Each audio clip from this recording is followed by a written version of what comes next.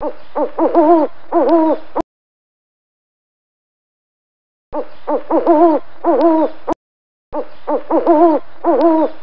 boys and girls, I have the best book ever for you.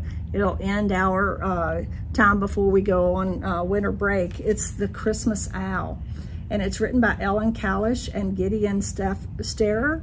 Um, this is based on a true story.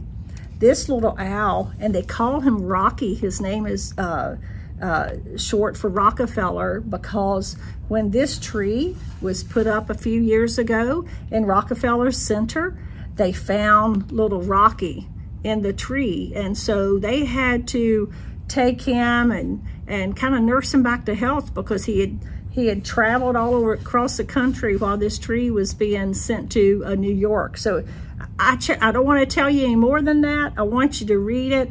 And it's a wonderful story about how Rocky ended up in his home in Rockefeller Center. And then see what happens.